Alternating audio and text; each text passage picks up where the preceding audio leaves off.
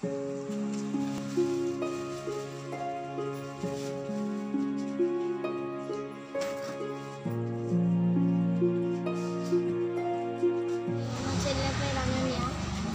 Class మా third class చదువుతుంది.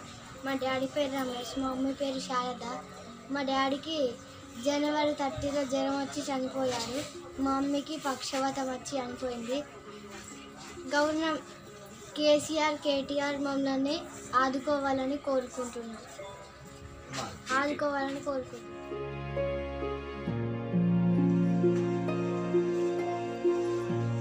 KCR sir ఆదుకోండి. కేటీఆర్ సాదుకోండి. ఇద్దరు కొద్దిగా మీరు పిల్లలను చూసుకోండి. కొద్దిగా ఆదుకోండి పిల్లల అనాథ పిల్లలు. మీరు ఆదుకోండి అని చెప్తాను. ఇంకే